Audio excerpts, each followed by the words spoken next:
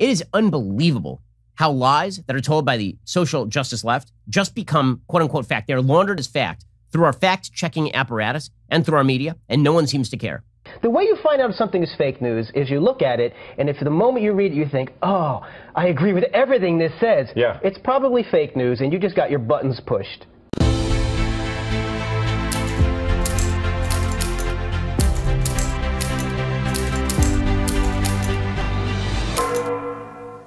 Hey, you guys, I just wanted to show you this here real quick. I'm doing a, a conservative video here about false fact checking that's been done against conservatives and against the right.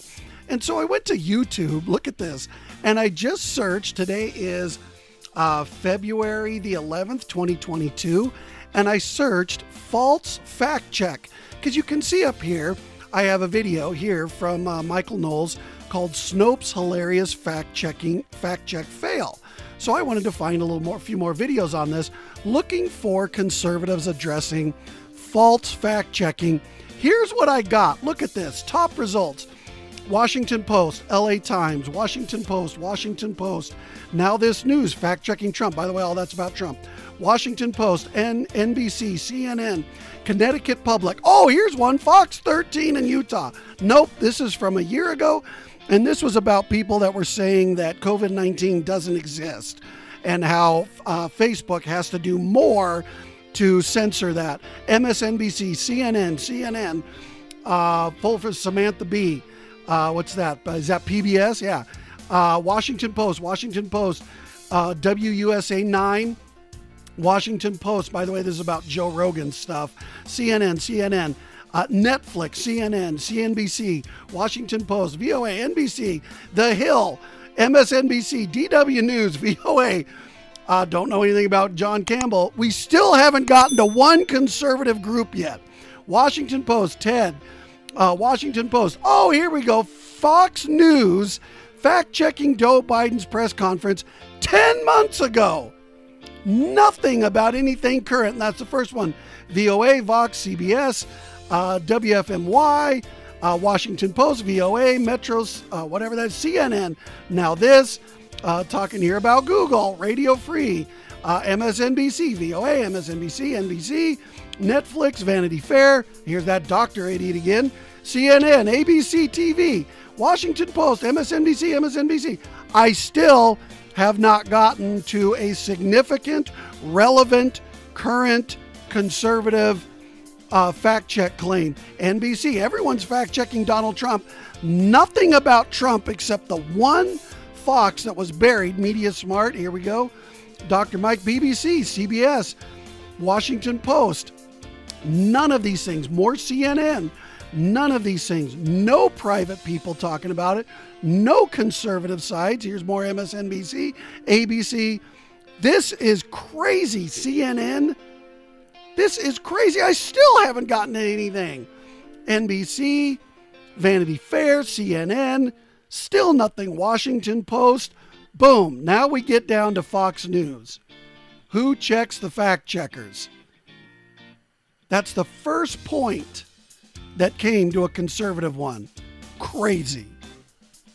But really, The people guilty of spreading misinformation are Facebook and its fact checkers. To do the fact checking, Facebook partners with groups like these, all of them approved by something called the Poynter Institute. It calls itself a global leader in journalism and claims it has. a commitment to nonpartisanship and fairness. but they're hardly nonpartisan. Just look at their website. Their eagerness to honor left leaning reporters and their push to decolonize the media and change language shows their leftist bias. Poynter once even apologized after it tried to blacklist conservative news sites. Yet absurdly, this is who Facebook partners with to certify who will censor all of us.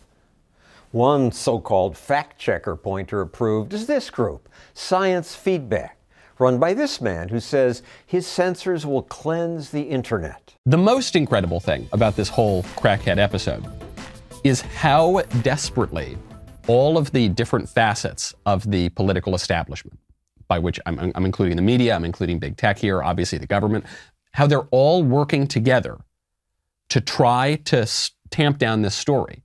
The establishment is going into overdrive to, to try to tamp this down. Notably, the fact checking website, Snopes. Fact checking is, it's not actually fact checking, it's just a way that the left rebranded leftist opinion columns maybe 10 or 11 years ago to try to make them absolutely incontrovertible. So it would have it would just be regular left-wing opinion columns, but they'd say this is a fact check. Fact check. Republicans are wrong about everything. 10 Pinocchios. Facts, right? What will they do about it?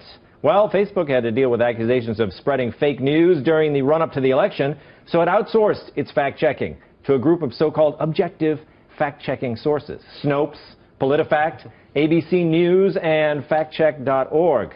Never mind that all of them have shown a penchant for liberal bias themselves. And as the Daily Caller has pointed out, Snopes, which many people see as the gold standard in objectivity, runs a political fact check division that employs almost exclusively left wing writers. Here's one of their writers whose Twitter handle is debunker. Look at that tweet. Huh. We're going to have to fact check that and get back to you.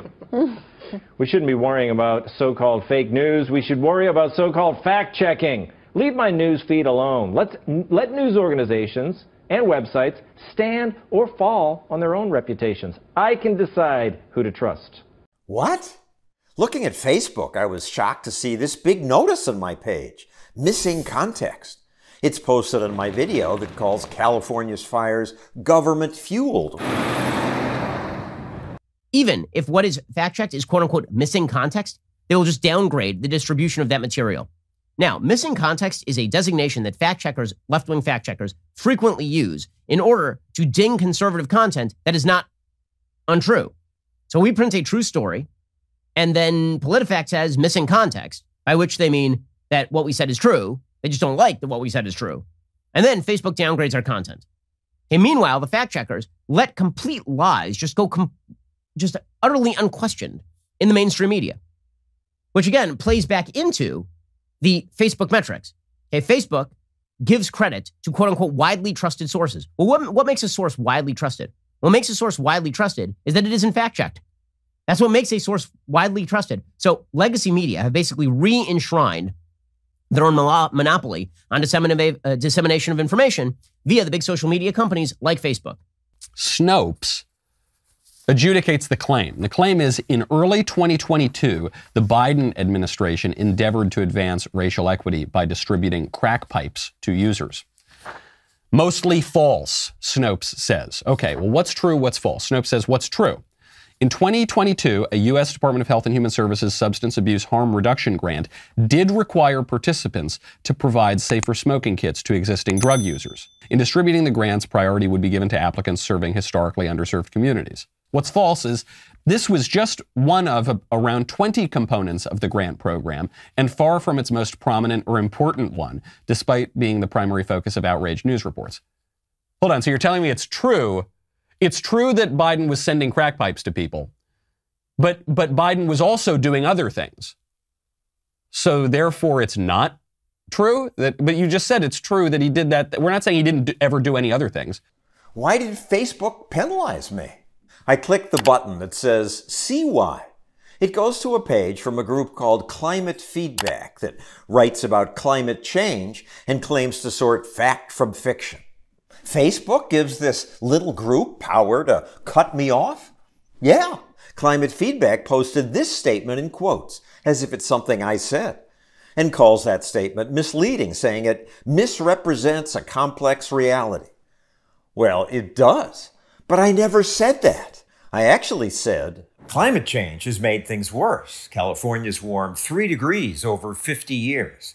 Facebook's letting activists restrict my views based on things I never said.